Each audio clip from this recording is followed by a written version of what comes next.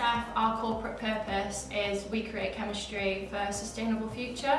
We help customers across the globe um, in almost every industry um, help meet their demands for both current and future society needs. Uh, I think what's different about BASF is the opportunity that it brings. Um, within the company you've got R&D all the way to the sales so there's so many different parts of the supply chain and the commercial chain that you can focus on uh, and you can play a role in.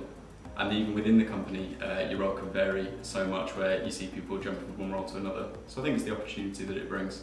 My background is a Masters in Chemistry. And when I graduated from university, I knew I didn't want to stay in the technical role. So I initially went down the career path of finance.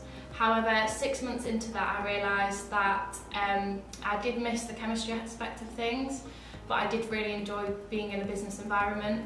So then I saw the advertisement for the commercial sales graduate scheme at BASF and it was a perfect fit for me. I could combine um, chemistry and also business. So one of the brilliant things of the graduate scheme is that I'm placed in a few different parts of the business. So my first placement was in uh, BTC, which is a distribution arm for small and medium-sized customers.